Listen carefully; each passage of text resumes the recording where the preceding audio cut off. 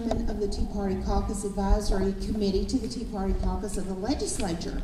And I'm so happy to be able to introduce you to some of the uh, most courageous people I know on the front lines of something that's important to all of us, and that is education in the state of Texas. Um, you're here because you care about education, and really and truly, we should have this room completely full with people lined up down the highway to get in here because this is about the future. And there are a lot of people that use a lot of catchy slogans about the future, but I'm going to tell you, in my experience, the people who really care about education are the ones that are in the trenches trying to find out the facts. The facts about what's really going on in our schools. And I, when I go across the state and I speak to groups, I tell them it's not enough for you to complain about your public schools. You need to know the name of the uh, trustee, the school board member who represents you on your local school board. You need to know the name of the school board president. You need to attend school board meetings because everybody talks about how we want to have local control. Local control only matters if you use it. It's not enough in our community to be drive-by critics. We should be trying to find out what is wrong in our own public schools or what is going right. Because we actually do have some examples of some things that are going on that are very right in certain public schools. I will tell you that the teachers I know, and I have some really good friends who are teachers and retired teachers, some of them in the audience today. I applaud them for what they do. I could not do what a teacher does. I don't have the patience uh, and that type of skill set to do what teachers do. And with the amount of administrative bureaucracy that teachers have to deal with, plus the cultural issues they have to deal with, it is a, it is a very difficult job. And sometimes teachers feel like they are left alone because they don't believe that they have the kind of support from their administration and they don't have the kind of support that respects them as professionals and respects them to support them when they talk about discipline issues in their classrooms. So I'm so glad that you're here today. I hope that you will consider coming again to another Grassroots America meeting. We're one of the largest constitutional conservative organizations in the state of Texas. We meet every week and we are four years old. And we are still doing everything we can at the local, at the state, and at the federal level to hold elected officials accountable for what they do with our tax dollars and what they produce with it. So with that having been said, I want to introduce you very quickly to some people that I admire very, very much. And we have first, down here, we're going, we will start in a few minutes after I introduce them. We have Reverend Kyev Tatum. And I have watched many of his videos and read a lot of his writings, and I will tell you, amen Amen, Pastor. Katrina Pierson, a very good friend of mine. Katrina is on serves on the Tea Party Caucus Advisory Committee with me. Katrina Pierson is also on the board uh, steering committee for the Dallas Tea Party and the Garland Tea Party. And I, I mean a real trooper. I enjoy working with Katrina very much, and you will also see her many times on Fox News. Uh, she's a, a regular on Cavuto. Then we've got Peggy Venable. Peggy is has been for quite some time uh, the executive director for Americans for Prosperity of Texas, and Peggy does an outstanding job of getting the facts out about what's going on in our public schools. Then we have my good friend, Senator Dan Patrick. Senator Patrick is the chairman of the Education Committee uh, for the Senate, and he is leading the way on education reform and doing a very good job. And it's a difficult job, and I think Dan will probably tell you why his job in the Senate and why getting uh, good legislation is difficult sometimes because of the rules of the Senate. He will tell you about that. Dan is also chairman of the Tea Party Caucus of the Texas Legislature. So now, if you have your cell phones on, please turn them on silent. And if you have to answer a call, please wait till you get outside before you start answering the call. Thank you so much and give them your good attention. Thank you again for being here.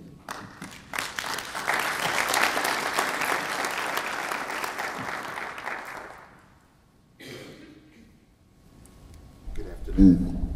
Good afternoon. Thank you all so much for allowing me an opportunity to be here. I want to first, uh, after commending Ms. Flemings and all of those who organized the event, I want to apologize for my tardiness. Um, I'm from Tyler. You should know how to get here. All of my family lives here on my mother's side uh, and my father's side. Um, but I've never been this far into Tyler. So this is a, a good experience, but please forgive me. Uh, so much is going on. Um, I'm just thankful to be here. We're at a critical junction um, in our state and our country. And I'm afraid that the rhetoric that we're hearing from our leadership is not very healthy when it comes to the educating of our children. Um, I'm very disappointed that many of the leaders in the state of Texas who look like me um, and tend to think like me on other issues have completely abdicated their responsibilities to the constituency in which they serve, especially the children within our public schools. It took me about 15 years to figure it out. I'm a little slower. I'm a former football player, so you have to forgive me. Uh, my process slowed down quite a bit with those hits, but I still think for myself. But it took me a while to figure out what was preventing our leadership in our community who tells us that they are concerned about us. Why is it that they would embrace everything except for the very thing that could liberate our community? The longer I was frustrated with it, the more I analyzed it, the more I realized it had nothing to do about what was in the best interest of our children. It was always about what was best for their political future and survival. And those who unfortunately were, who were uh, investing and supporting them politically uh, and professionally were not the ones who were looking out for the best interests of our children. 10 years ago, I was more of a firebrand in making that statement known. Um, before Senator Patrick made it to the Senate, we started publicly challenging black legislators in terms of why are you ignoring the plight of our children? And instead of them having a courageous conversation, um, they begin to retaliate and attack and demonize and criticize, marginalize, and minimize our perspective in terms of why we need liberation within the black community through school choice. For the last nine years, I've been recovering. Uh, many of us, Glenn Lewis, uh, who was a former state rep out of Fort Worth, Ron Wilson out of Houston, uh, Senator uh, Representative Ken Grusendorf in the House, um, so many of us who were fighting for liberation in education were attacked, demonized, criticized, and oftentimes defeated with propaganda and subterfuge. And that was the last 10 years.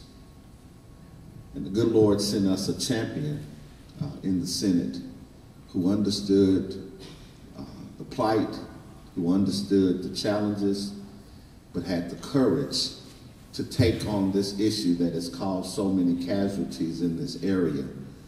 He took on the issue and he's pushed it to the forefront. And that's none other than our friend, Senator Dan Patrick. And I'm thankful, and so many of us are thankful, that he's had the courage. And this is a courageous move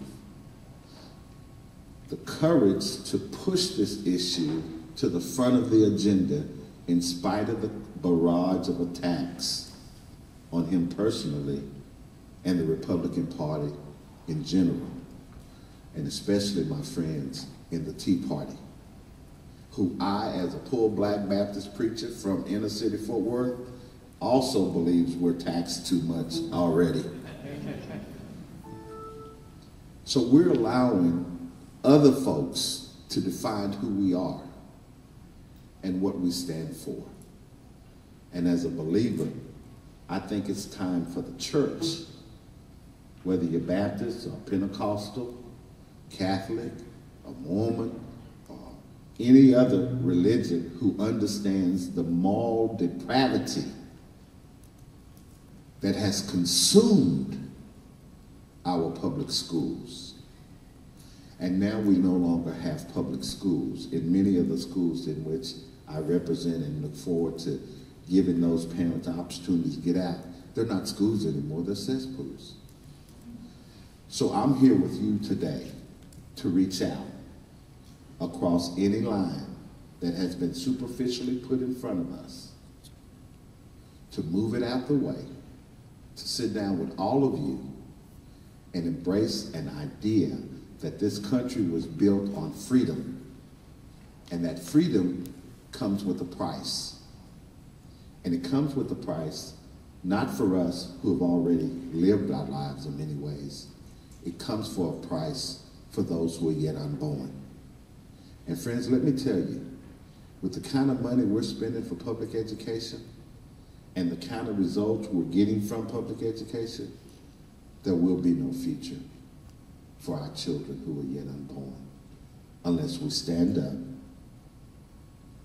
remove the lines, drop the drama, and support people like Dan Patrick and others, Senator Campbell, who have put their careers on the line in order to open up freedom again for our great state and for our children. So I'm here for you, I'm here with you, and I'm fighting with you. And I want you all to know, as Dr. King said to us, and we remember, that we're all caught in an inescapable network of mutuality, tied in a single garment of destiny. And whatever affects one directly affects all of us indirectly. For some strange reason, I can never be who I ought to be until you are who you ought to be. The rich man can never be who he ought to be until the poor man is who he ought to be. And we can never be the kind of state we think we are until we look out for the least of those children who are trapped in a burning schoolhouse and they need your help. Thank you, and God bless you.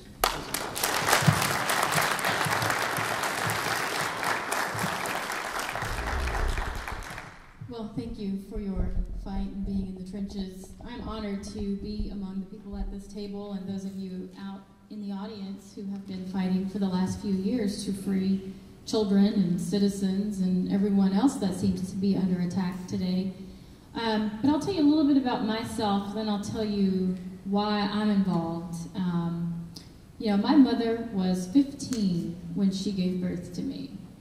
And by today's standards, I probably wouldn't have even been born. So I believe that everybody deserves that fighting chance.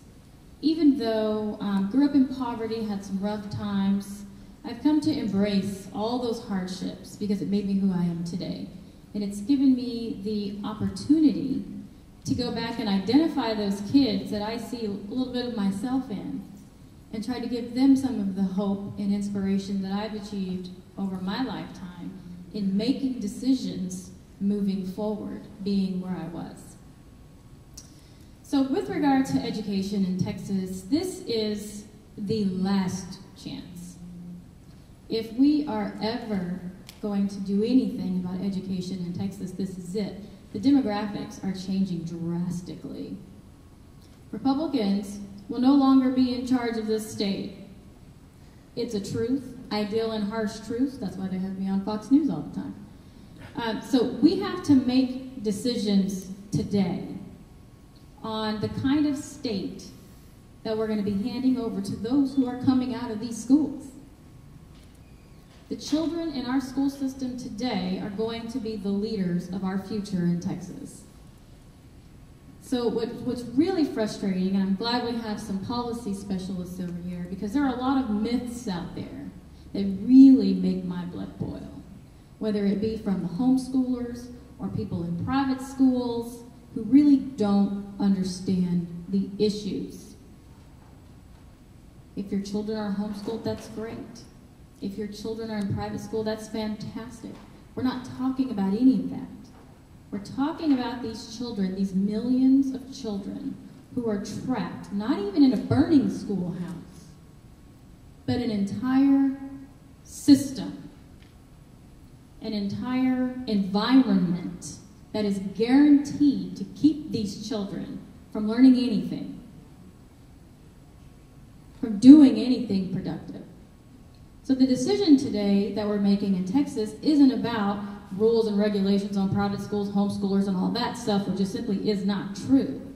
The decision today is who are we going to leave in control of the people who will be running the state of Texas? It is that simple. This is about liberating children, yes.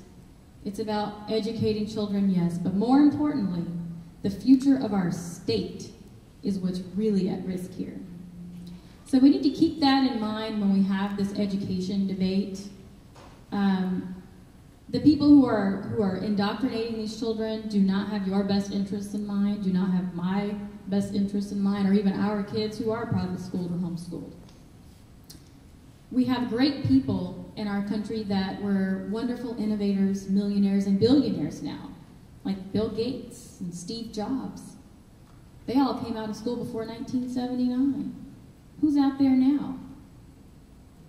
Where are all these bright, brilliant Americans today? The Department of Education was established in 1979. That's a red flag, you guys. Something is desperately wrong with our country, and it starts in education. You can throw Mark Zuckerberg out there, he's the youngest billionaire in the country, but guess what? He went to private school. We have millions and millions of children today that we could free. We could free an entire generation of children if Senator Dan Patrick and those allies that he has in the Senate and even in the House, which I was surprised, are successful. But unfortunately, we don't need the black Democrats to get this done. We don't need not one of them. It's Republicans that need to get this done. Republicans have always been the party of freedom, have always been the party of liberty, have always been the party for entrepreneurship, success, business, education. And it is Republicans that are holding up this process. The Reverend mentioned Martin Luther King. I think Martin Luther King was too moderate. That's probably why I'm sitting here today, because I grew up listening to somebody called Malcolm X. And what Malcolm X said is you go get an education and you start your own business so you don't have to go and ask anybody else for a job. That's the message that I heard growing up. So, I'm here today to tell you that I came from inner city, teenage mom, drug addict, suffered through all kinds of abuses and things that you can only imagine. But the difference between me and my siblings, even, and those who grew up around me, which some of them are dead today, the difference was I was pulled out of that environment my freshman year in high school ended up in a little town called Forney, Texas. Graduating class of 300. Culture shock for me, but it saved my life. And I know that today. And that's why this is important to me because I know so many other kids who may have parents that seem like they don't care about them, that may have parents that are drug addicts on welfare, but I can promise you this if those same parents that we've all given up on had the opportunity to put their children into a good school, they would do it hands down. Because they know that if they could give their kids an opportunity to not be like them, they would take it in a heartbeat. So, really, it is up to Republicans in the state of Texas to decide what happens next in education. Thank you very much.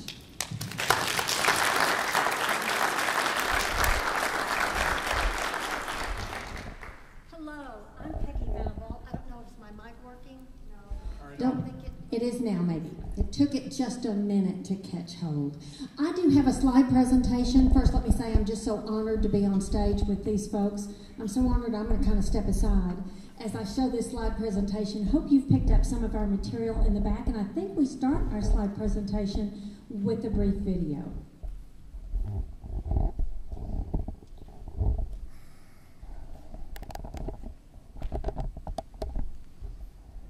If it works. Lauren's there in the back of the room and came with me, so we're trying to we're trying to make this work. Otherwise, if it doesn't, we will just slip right through this slide presentation, and we also have another video. We'll let this go.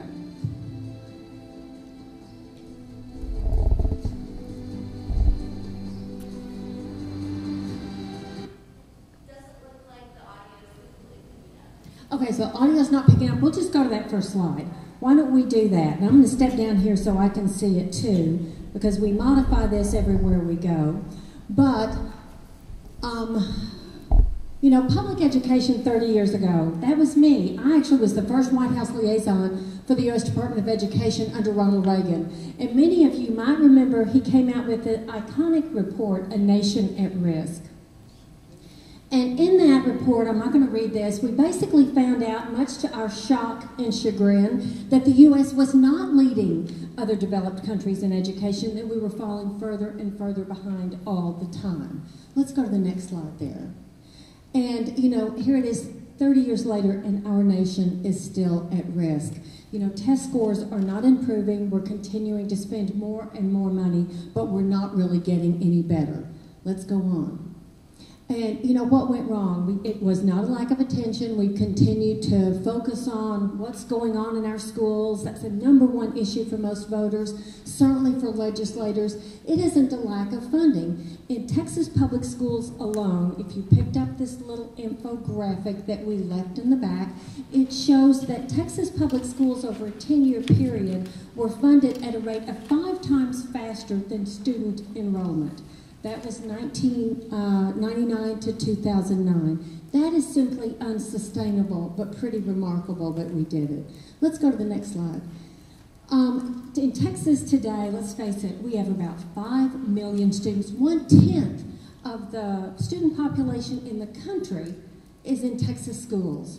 We spend about $54 billion a year on K through 12 education, and yet 315,000 students are going to failing Texas schools. And over 100,000 kids are on wait lists just to get into charter schools. Let's go to the next slide. Um, and I'm not going to read all these, but the fact is, I am sick and tired of hearing the education lobby at the Capitol demanding three things. They're demanding more money, less accountability, and no competition. They want to maintain their monopoly status, get more money, and they want to be less accountable to you and me. And I think that's really disconcerting, and we need to keep that in mind. And that's what legislators are hearing every single day. They need to be hearing from you. Let me go to the next slide. Here's that chart again how much uh, expenditures in Texas have risen relative to student population growth. How many of you heard in the media said that last session they cut education spending? How many of you heard that? I sure did from everywhere. The fact is, the legislature put still more money into education. But the claim was, but they did not fund growth. Folks, our schools are growing in the state. Yeah, we're growing, but only 2% a year. We cannot continue to fund it at five times that rate every single year. Let's go to the next slide. And yet, Texas school districts are in debt. We are $107 billion in debt, and I include principal plus interest. This is according to the official website, the Texas Bond Review Board. And I saw some signs as I was driving in. JoAnn, I know you and I have talked about this. There is a uh, school district bond initiative before you now, I understand. Does anyone know just how much Tyler ISD is in debt right now? Tell you a little story. I had one of my own school board members call me and encourage me not to oppose a bond initiative coming up.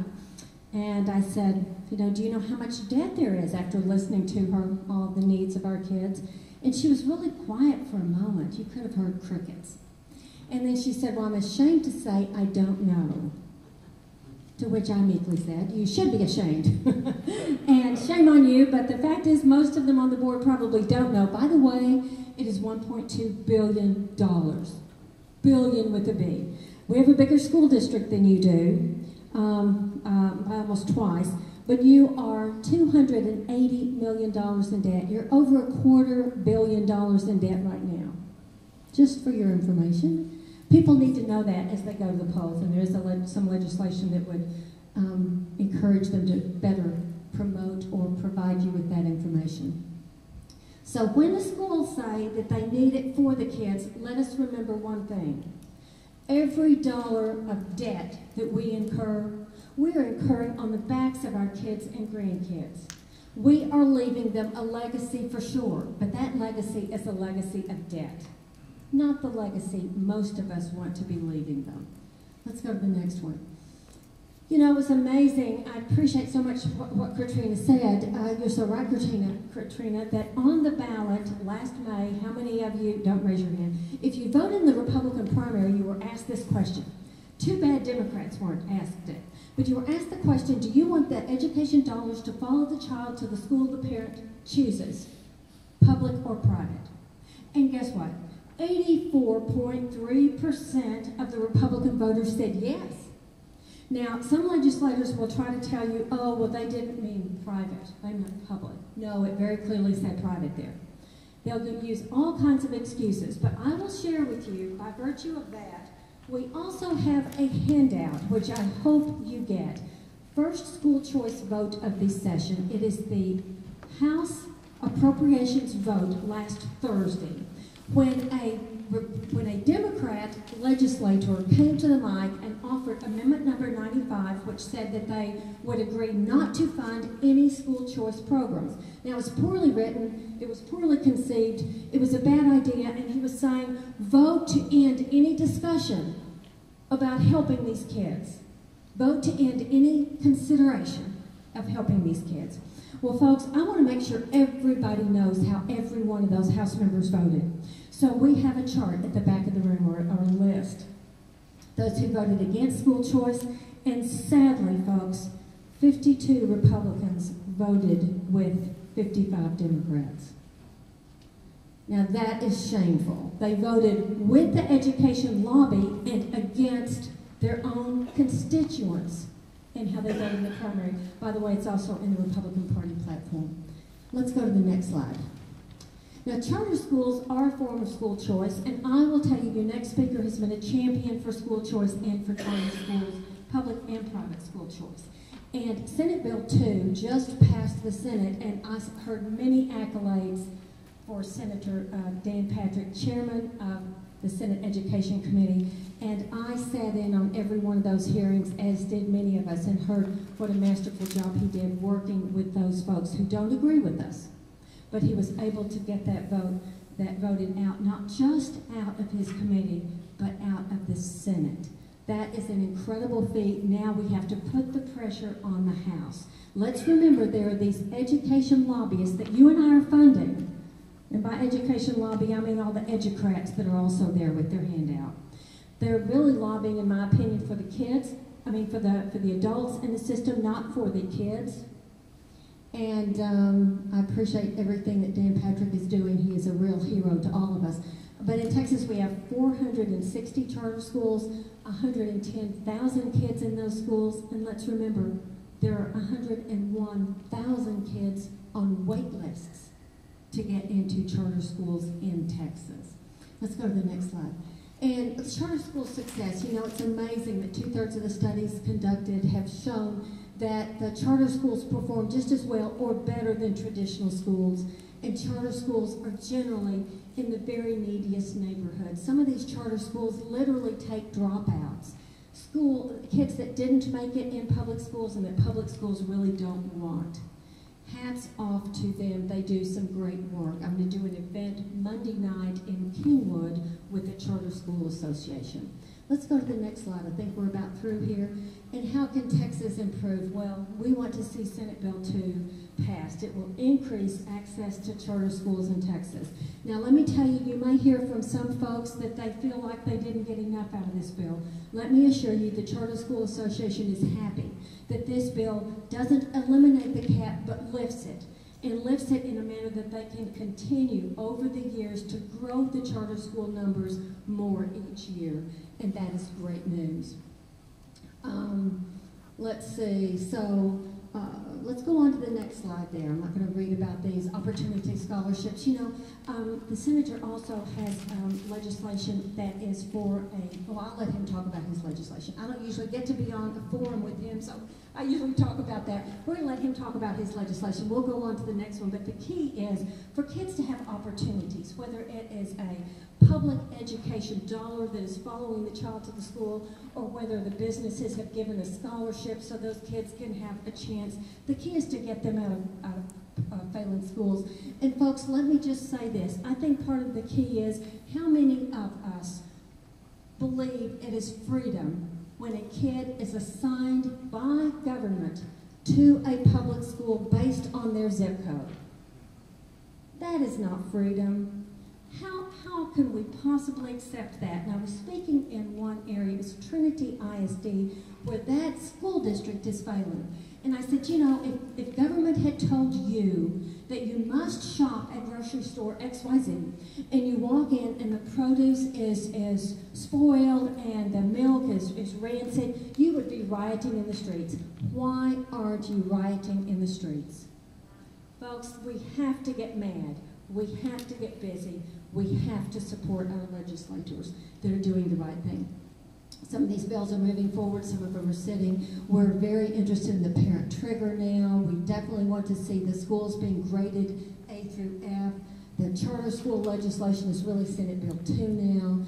And an achievement school district really is a way for the failing schools to be, uh, to uh, get some new leadership and start to succeed. Let's go to the next slide. And oh, let's see, uh, if our sound works, we'll get to hear um, a, a, brief video that we did with Reverend Tatum. Well, we can hear the music, but we can't. There's one track that didn't make it on there. You've already heard from Reverend Tatum, but look how nice he looks there in front of tell you, we have a series of five videos. One of them is the mother of, of two children that are disabled and one that is gifted and talented. And she is advocating for Senate Bill 115 that would give school choice to disabled kids. There are some great bills before the legislature. It's now, we're up to the wire. We have to push and get these bills forward. And the true leader in the Texas legislature leading this charge is the next speaker. I thank you, and I'm going to turn it over to Senator Dan Patrick, Chairman of Senate Education. Thank you. Can we go back to that last slide that showed the list of bills? Would you mind doing that? First of all, how many uh, educators do we have in the crowd? All right. Teach current. Te how many current teachers? All right, and former teachers. All right. Um, thank you for what you do. My, let me introduce my wife, Jan. She's sitting in the back row in the white blouse. You can stand up. She's a retired teacher kept me good company on the drive over and the drive back uh, later today. We were in uh, San Antonio last night uh, at an education awards banquet, and let me just uh, tell you that I'm that I'm privileged. Um, we started the Tea Party caucus last session, and I didn't know JoAnn before that. I didn't know Katrina before that, and many other people I've met. And we have real champions around the state who are working hard on their time, on their nickel, on their dollar to try to uh, keep Texas being the leader in America and in the world. Do you realize that there is no other place in the world that has the freedom and the prosperity and the economy of Texas? Nowhere. I mean, if we fail in Texas, America fails. I mean, who are we going to count on? California? New York? Illinois? I mean, if you look at the big states, Florida is doing fairly well. But if you look at the big states, we're it. We're absolutely it. And in terms of politics on the Republican side, if we lose Texas, there'll never be another Republican elected to the White House because the electoral votes of Texas and New York and California would, would add up to such a number that you could never overcome the math by any other combination of states. That's why Democrats have put a target on Texas. They have the White House forever if they take Texas. So what does that mean to me as a Republican, as a conservative? And I always tell folks, I'm a Christian first, conservative second, Republican third. And if the Republican Party ever loses its way from, from representing God and conservative principles, then I guess I'll become an independent. We have to stand strong. So Republicans have to get it right. And so Katrina was right. It's on our watch. We have the governor, the lieutenant governor, the Speaker of the House, the Comptroller, the Land Commissioner, the Agricultural Commissioner. We have 95 uh, to 45 or 55 members in the House, and we have 19 out of 31 senators that are Republican. There are no excuses. Now, we have some rules that JoAnn mentioned early that, that sometimes make our job difficult in the Senate, but we proved this week in the charter bill that has not always been supported by Democrats that it can be done. We passed the charter bill, even I was surprised, 30 to 1. And it actually was one Republican who was the no vote, and it was just a personal preference on his, on his uh, point of view, but 30 to 1. We got every Democrat to support the charter bill. And uh, Peggy's right, we didn't get everything we wanted. That's part of the negotiation process. But the two key parts of the bill, or three parts of the bill, really, number one, we want to close down our bad charters. We have about 500 campuses in the state that are public charters, they're public schools. About 50 have been left over from the late 90s are failing.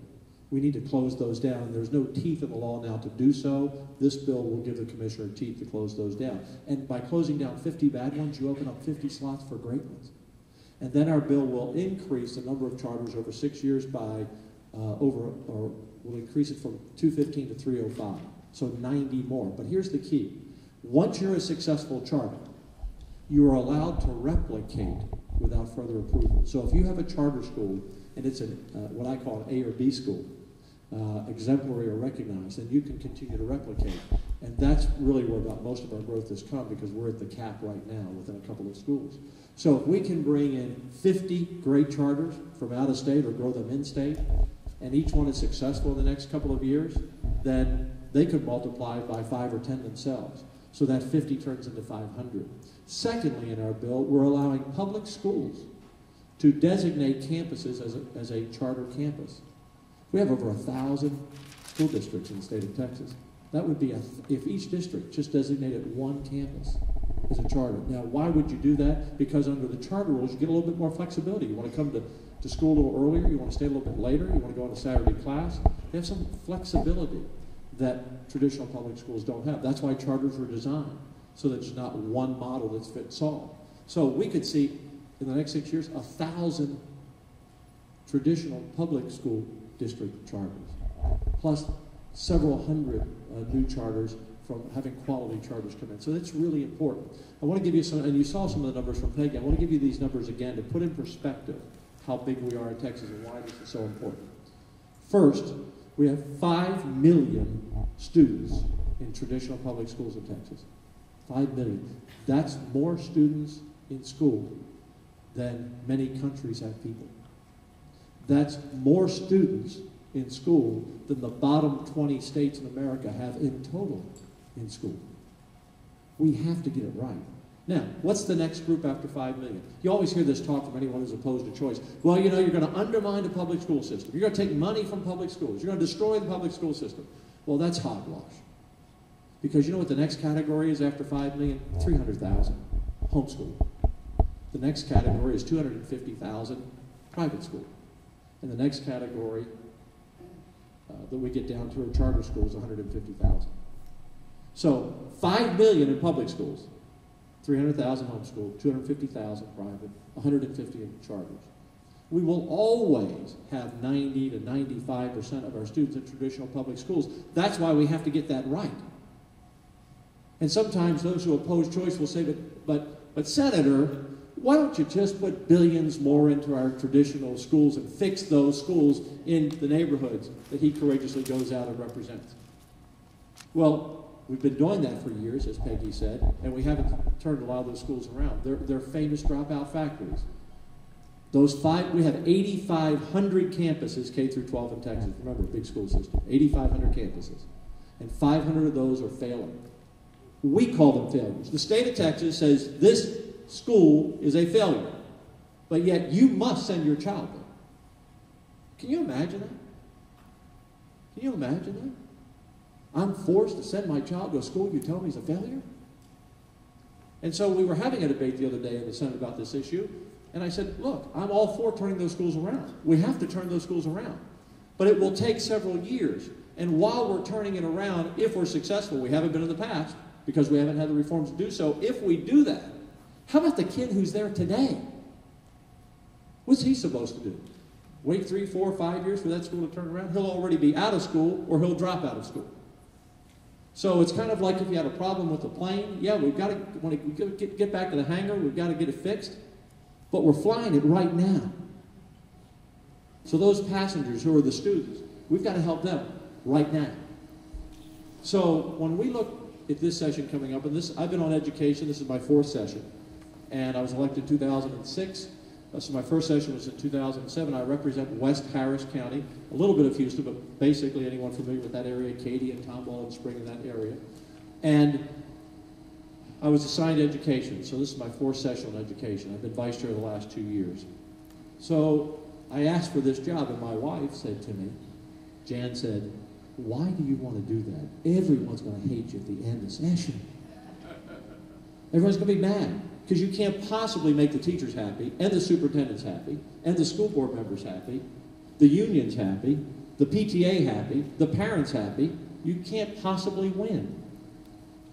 She's probably right, and we do take a lot of arrows. But it's okay. Somebody's got to do the heavy lifting. Somebody has to do the job. And I'm old enough, I'm old enough now, that I don't have this long, I didn't get into politics until I was in my 50s. I don't have this political career out there in front of me. I'm not making decisions today, so I wonder how this will help me get elected to something higher later. If this is where God has placed me to do this job, if we get the job done and it would cost me an election, that's okay. We have to get the job done. And, and, and, the pastor named off several people who have been leaders in school choice, Democrats and Republicans. Everyone he named lost their election because you have a target on your back and they come after you. That's okay. It's okay. Um, so, very quickly, because I want to open up the Q&A. So what are we doing? Can you go to that slide with, with our bills again? If you don't mind. I'm going to pull up. We have a whole package of bills, and there's been a lot of talk about vouchers. Um, and I've taken a lot of hits over that, and I've been quiet about it. Haven't said anything about it. Um, not that it's misdirection, but if we passed our business tax credit uh, bill that we passed out of committee, we shocked people. You know, that as, as Peggy said, last week the House voted not to fund any public school choice. So everyone thought Dan will not move forward with his package of legislation. Why would he try to pass bills when the House has already said, we're not going to do it? Well, I have my job to do. They can do their job. So we passed our bill out five to nothing. Um, one Democrat, four Republican for our business tax credit, Senate Bill 23. What does that do? That simply says if you're a small business, you can take a deduction from your franchise tax. The cap on it is $100 million and those dollars would go to poor students in failing schools to give them a chance. Now, 100 million is a lot of money. But do you know what it represents of the school budget? 0.25%. We spend of state dollars, not counting your local property tax dollars, about 36 billion in our budget. So 100 million would help maybe 10,000 students. Remember, 5 million in public schools. We're trying to help 10,000. And, and somehow that's going to destroy public schools. So we passed it out. Now it's going to be very difficult because in the Senate we have this rule called the 21 vote rule. We have 31 members. You, you only need 16, a simple majority to pass a bill. But if you all were senators, take 31 of you over here. If you all were senators, I need 21 of you to bring a bill to the floor. Well, guess what? There are only 19 Republicans. We don't always have them, you know, 100%. So I always have to get two Democrats. Every senator has to get two, every Republican has to do, get two Democrats on every bill. Makes it a little hard. Um, but we're making progress. Um, and that's how we got the charter bill out, 30 to 1. Now, all of these bills I've either, e- either authored or I'm the joint author Uh, because I've a couple, I, I can't handle the entire load myself, so I'll ask another senator to carry a bill. I've asked a couple Democrats to carry bills as well.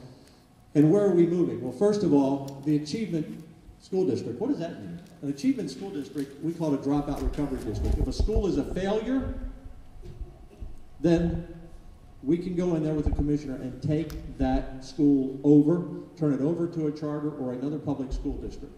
So that's the achievement school district. Very important. Up where, where the pastor is. Most of our failures, those 500 campuses, are in El Paso, San Antonio, Dallas, Houston. In fact, it's one of the reasons, by the way, we have a tough time moving legislation because inner city Democrats oppose it for the most part, and and superintendents in rural Texas who say this doesn't impact us.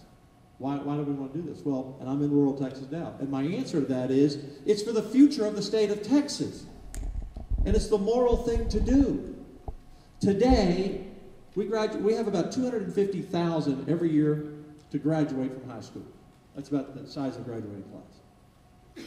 Today, 20% drop out, and 20% graduate with what we call the minimum degree that doesn't qualify them for college or career.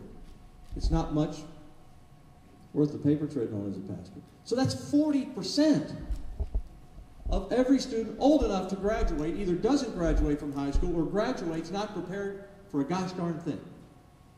And what happens when you don't have a high school diploma or you, you're not qualified to do anything? You're more likely to be on a social government program. You're more likely to go to jail. Nearly 80% of all people in prison can't read at the fourth grade reading level.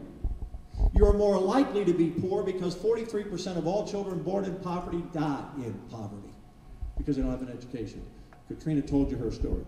Difference maker. Someone gave her a scholarship to go to a school in another area, helped her escape. As we had such great testimony, the pastor brought great people down to testify last week in our committee. All minority parents from the inner city, heartbreaking stories. One pastor who has his own school said, These kids can learn. By the way, our charter schools prove it. These kids can, it's not about the kids not being able to learn, it's about being in an environment where they have the freedom to learn. It's about getting the parents involved, having the quality teachers. That's the name of the game. And I love one of our last witnesses that came down. I forget his name, but he said, You know, I'm almost offended that I'm here to testify because why do I have to come to Austin to get permission to send my child to the school that I want to send them to? Think about that. We already have school choice. If you're rich enough, you can send your child to any school you want to go to. And I don't, you don't have to be rich. I mean, mom and dad, sac- a lot of people sacrifice, They're not rich. But they pay that tuition, send their child to private school. Or in the bigger cities, you just move to a better school district. You just, you know, people don't sit on the freeway outside of Dallas and Houston and drive an hour in traffic because they like sitting in traffic. it's because that's what they sacrifice to do so their children can go to a better school, and sometimes it's further and further out. But if you're a poor single mom like Katrina was, whether, whether whatever issues you may have, but even if you're standing up and flying right, and you're getting on the bus every day to take that job to wherever you're going to support your children, you can't move to the suburbs, and you don't have money. So what does she do? So why does that woman, or that grandmother, or that guardian not have the same opportunity as someone else, black, white, or brown, who can move to the suburbs or send their child to private school? And what does it do? Again, five million kids in public school. There'll only be a few thousand in our private schools, 250,000. Let me tell you what it does. It creates competition. because the public school doesn't want that student to leave because when that student leaves, guess what? So does the money. In fact, I was going to pass a bill to show you how crazy this is this session that says no one in Texas is allowed to send their child to a, to a private school. I don't care how rich you are, you can't do it. Of course, that wouldn't get one vote because people would say, wait a minute, you can't stop people from doing that. Well, you're stopping people in the inner city from doing it. And look at the drag it's going to be on the future of Texas. We cannot be a prosperous, strong economic engine to lead America if almost half of all students who are 18 today don't have an education. This isn't, this isn't time for evolution, this is time for revolution in our school. You know, Condoleezza Rice, Condoleezza Rice said at a conference I went to in D.C., she did the first report on how our poor, our poor education is going to impact our military. So how's that work? I'll tell you how it works. 75% of students who go to join the military can't pass the academic test. We, we hear all about this. We have the, all this technology. We don't need as many soldiers. Well, someone has to run the technology. I mean, this is a crisis. And all of you in this room, there are a few of you older than me, most of you younger. God's been good to us. We've had, we've had a great life. I'm going to get out of here all right. No complaints. I'm blessed. Got two great children, a great grandson. My daughter's a nurse. My son's a judge. What more can I want? But I'm worried about my three-year-old grandson. What kind of Texas America is he going to have if half the people don't have an education? So, wrap up here. These are the bills and where they're moving. Graduating, this is really grading schools A through F. This is really important. Florida did it, and it, gosh, it got parents involved. Right now, if I asked you what our grading system is in Texas, do you know? It's unacceptable, acceptable, exemplary, and recognized. What does unacceptable mean? Are you a D plus or a total fail? What does acceptable mean? Are you a C minus or almost recognized? You come home, your child or grandchild has a report card. You know they're, how they're doing. If you get a report card on your school and your school's an F, my school's an F, my kid's going to an F school? I thought it was just unacceptable. Important. Charter schools we talked about.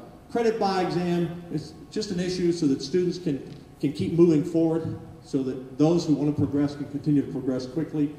Home rule is, has, that's really turned into our campus charter so schools can, I was, I had a design to let entire districts be charters. That was probably too big of a leap. Um, so we're letting them just do campuses. Uh, intra, intra-district, this is very important. This allows a student to go to any public school they want, in any district. Any district. So why shouldn't you? You're paying taxes. You know, go. And, and, and I thought about that. I was up in West Texas talking to a bunch of superintendents. They were telling me they have 700 students who go to different schools. I'm thinking, that's a long drive. They said, yeah, but parents want to do it. Because in small districts, rural districts, they often don't have courses in every subject that kids want. They might not have pre-calculus, or they might not have a great teacher to teach it. So they drive. So we want to do that everywhere. Online education, that is the future. We have to watch it. I'm not going to talk about C-scope today, but we're trying to tackle that bear. We passed a bill to put that under the control of the State Board of Education because C-scope is out of hand. Really out of hand. In fact, I'd like to just close it down, but I don't have the votes yet, but I might before session's over. But we're going to put them under permanent. First time ever we've taken lesson plans, treated them as textbooks for the SBOE to be over. But online education is the future. Fewer textbooks, more online, online. And you know why it's important? Here's one reasons why it's important. We, well, Jan and I were driving through some very small areas today. You know, only one out of every three math teachers in Texas has a math degree. Only one out of every three science teachers has a science degree. So you got a lot of people teaching out of discipline, and you want the best teachers. So if you're in a small rural area or an inner city area where they can't get the best teacher, why not have the best? It might the best math teacher in Texas might be here in Tyler. Why not let that math teacher be online teaching that lesson? It just makes sense, and that's how kids learn. Parent trigger: 50% of parents plus one can take over a school if it's a failure for three years in a row. Parents come in and take it over. You're a failure for three years in a row. That'll create competition. Now, they can't take it over like run it. They turn it over to a charter or another public school district. And teacher effectiveness, just reevaluating teachers. Every one of these bills we have passed out of the Senate committee or off the Senate floor. Every one of people said, well, if you fail on vouchers, Dan, you fail. If I pass all of that, if we pass all of that, it'll be the biggest transformation of public schools we've had in decades. Plus, we passed more legislation to help special needs students foster children in schools. So with that, this is why it's important. Why is it important to you sitting here where you have a pretty good school district? Why is it important to you if your kids are good or your grandkids? Because the future of the world, the world is a not a safe and stable place. Look what we're dealing with in North Korea today. The world depends on America. They may not like us in France or other countries or be jealous of us, but when they dial 911 they get in trouble, who do they want? The U.S. Marines, the U.S. Navy, the U.S. Air Force, the Army, and the American taxpayer to bail their butt out. They must, the world must have a strong America. And America cannot be strong unless, who's strong? Texas. And Texas can't be strong unless we have the best education in America. With that, I'll close and we'll take questions.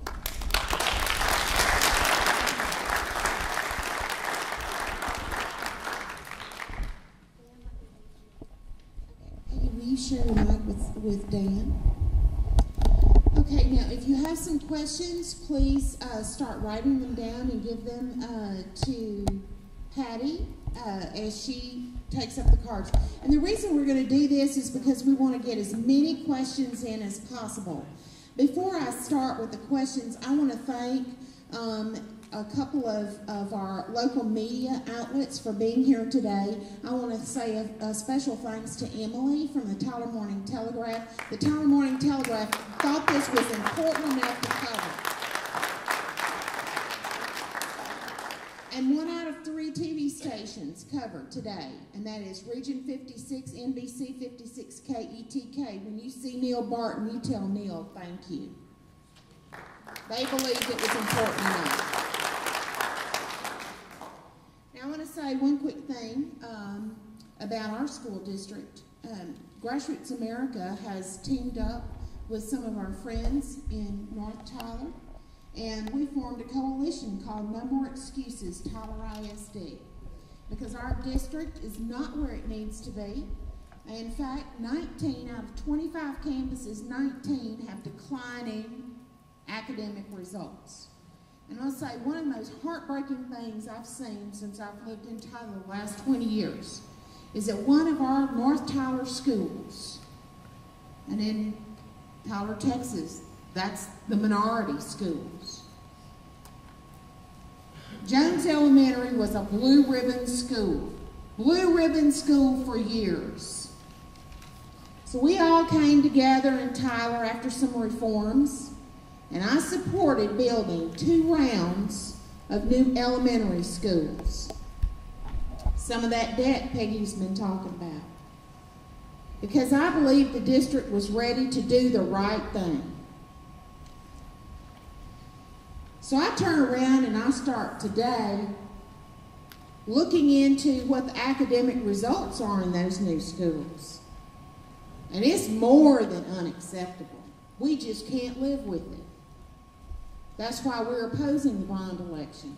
Because we have too many children trapped in schools that are not educating them. And I'm going to tell you, I told the Tyler Chamber, some of their committees this last week. I asked them, I said, I invite you, if you have never looked at the TEA, Texas Education Agency website, and you've never looked at the comptroller's website, to look at the results of these schools versus the dollars being spent per child. In some of the schools with the worst results are the schools that get the most funding. Folks, something is drastically wrong in a community that sits by and lets this happen, and there is the sound of crickets from people who ought to know better. And I told that chamber group, I knew they were going to endorse the bond election. I knew it when I went there. But you know what? Somebody's got to stand up and say it's not acceptable. And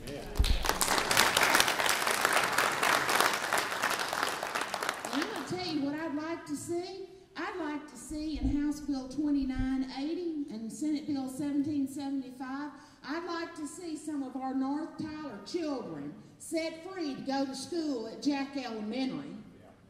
And some of the South Tyler schools where they actually are teaching children, they have better academic standards. I'm going to tell you, there's something wrong in our community when we are okay in our predominantly minority schools when they are sitting there as Jones Elementary used to be a blue ribbon school and now it's a one and a half star school out of five. It's not acceptable to me and I'm telling you, the people in this town that want to shun us because we're standing up, that is a-okay with me. Because you know what? I can wake up tomorrow, Doc, and look at myself in the mirror and say, you know what? At least you tried.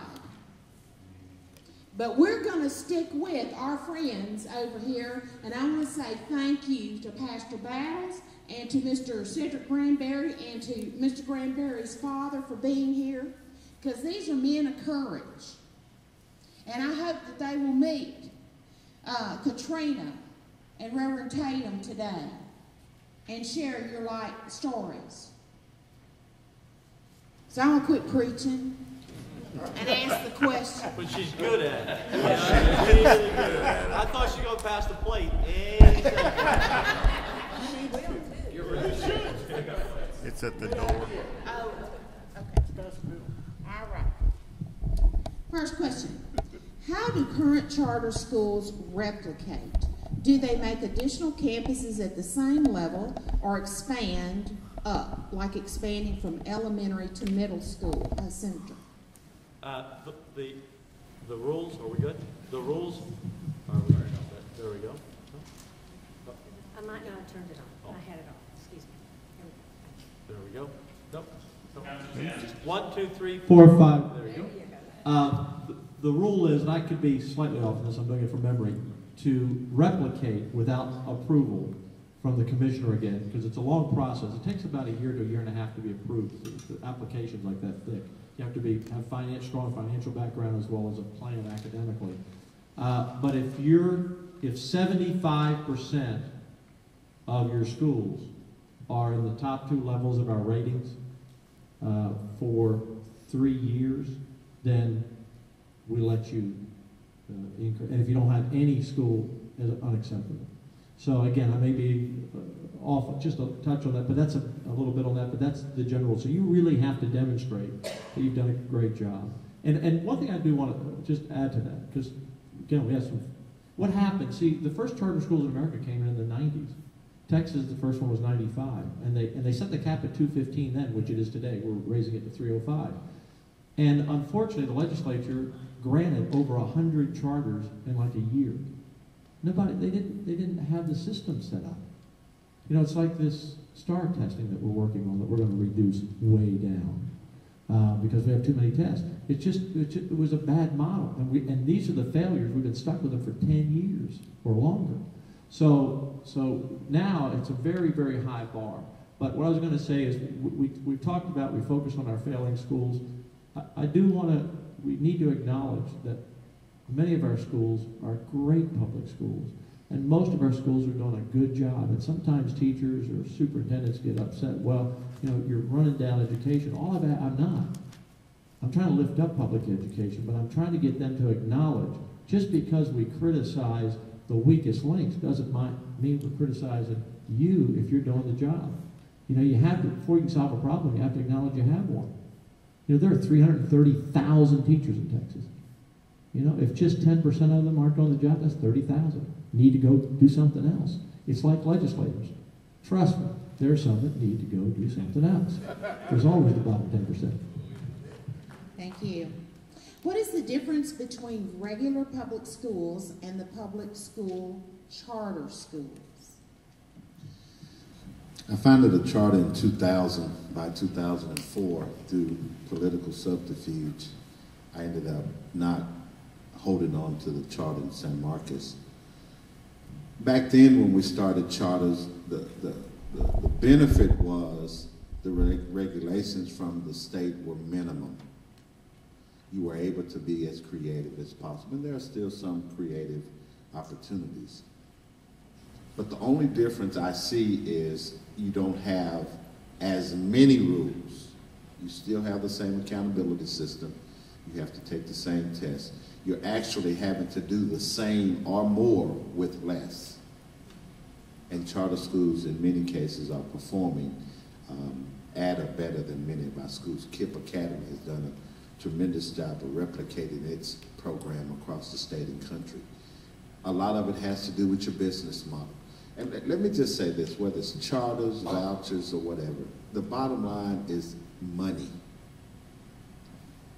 We are saying give more people access to the educational dollar in an effort to produce better results and not continue to allow the monopoly of public education to dictate what is best for the Texans in our communities. That's the bottom line. If you listen to the anti-expansion or anti-access group, um, the first thing out they'll tell you is it takes money away from public schools. The second thing they'll tell you, it, it hurts public schools. Well, guess what?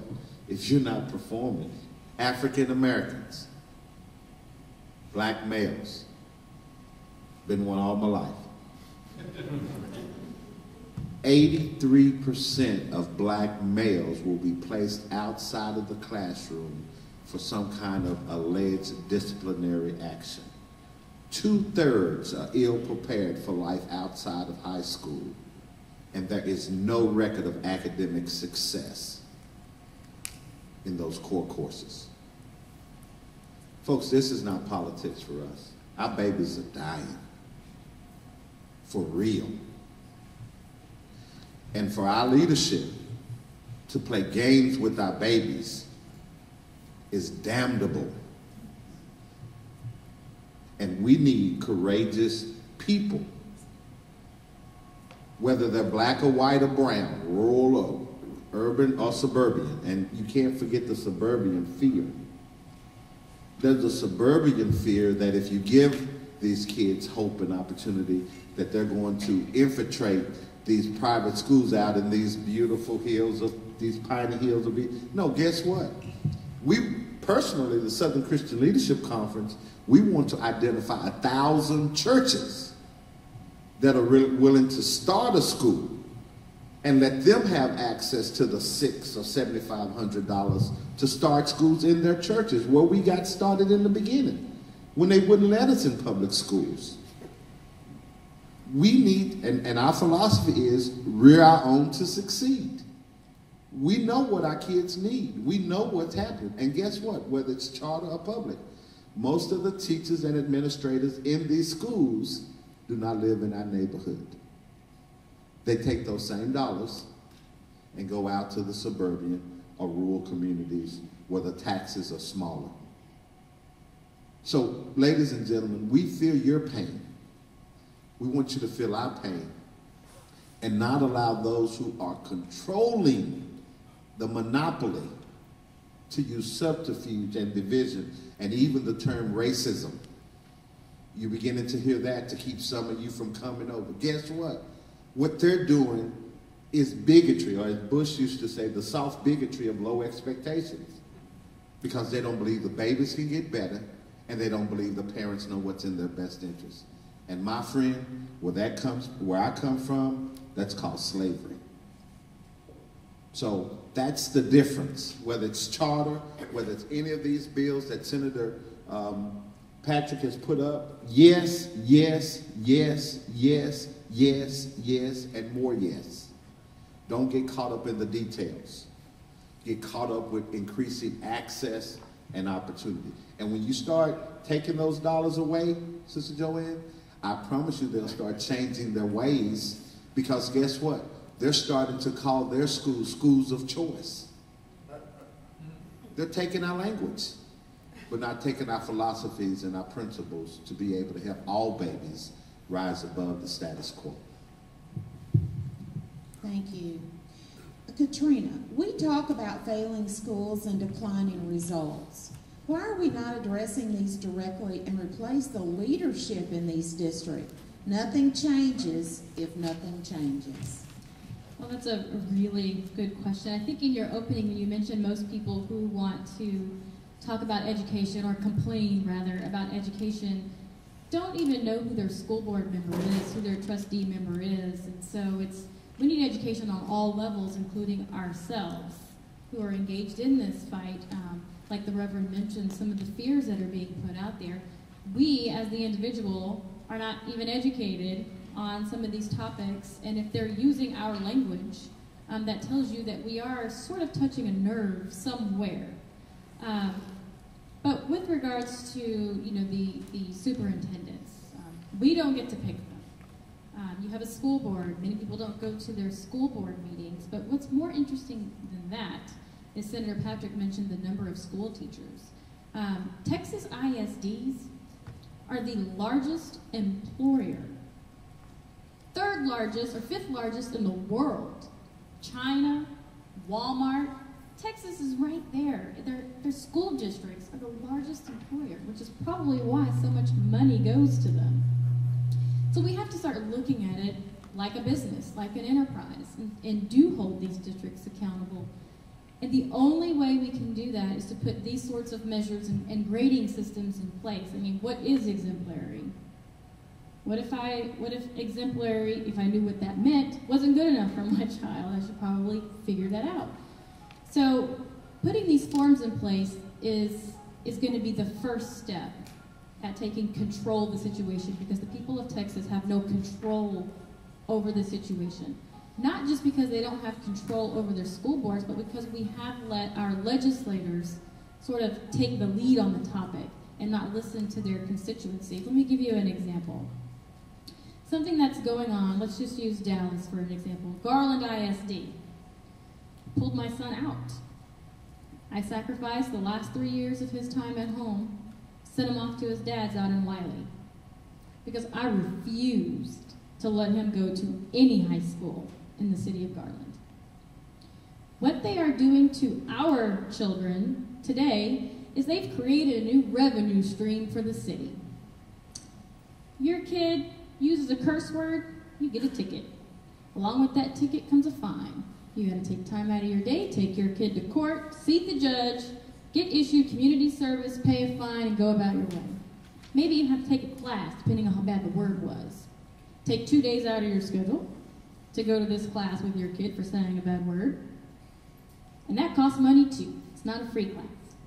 So you have these underprivileged minority children trapped in an education system which is now a new revenue stream for the city.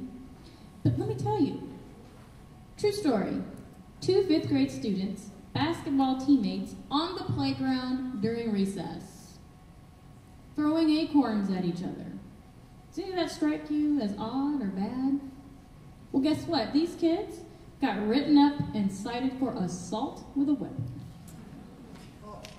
So they are already giving these children quote unquote criminal records before they even get into junior high. that's the school system we're talking about in the inner cities. That's what we're talking about is why we have to hold accountability. And to, to Royce West's credit, he actually addressed this in a bill. I think it's Senate Bill 408. He wants to hold school districts accountable because they're giving out these tickets like candy. And I think that's great. The problem is that they're giving these tickets out like candy to begin with. We shouldn't be making new laws to plug holes in the system. The whole system needs to be completely dismantled and rebuilt with the appropriate intentions for children in mind.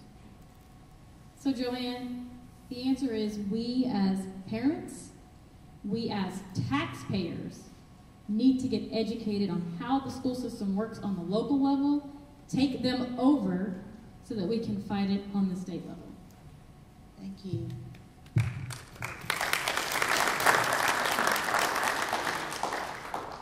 So Peggy, exactly what is the difference between a charter school and a regular public school?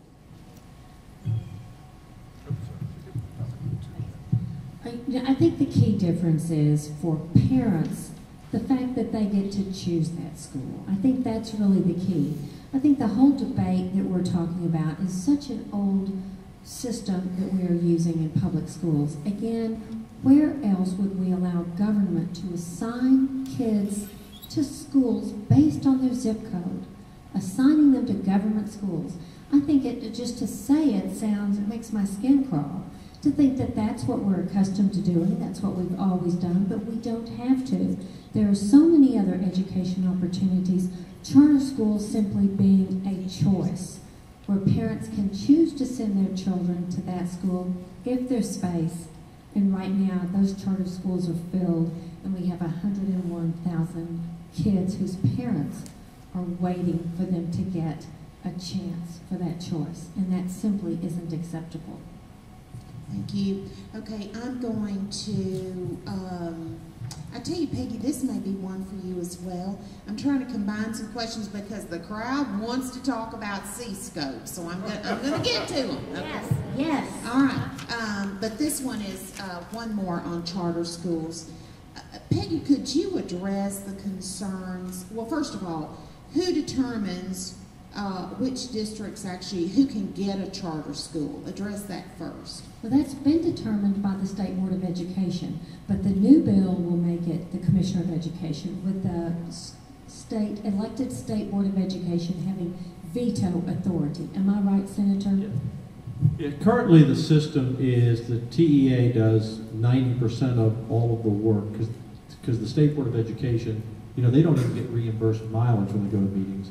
Um, and, uh, we have some great people in the State Board of Education. They meet about six times a year for three days, they're volunteer, they don't have, they don't have staff, they don't have anything. So currently the role is the TEA, uh, does all the work, sends over the applications to SBOE. The SBOE sets up some interviews and they make the final decision under the new accountability system to approve charters.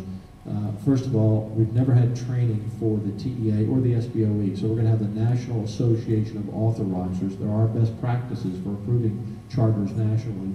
Everyone's going to have to be trained.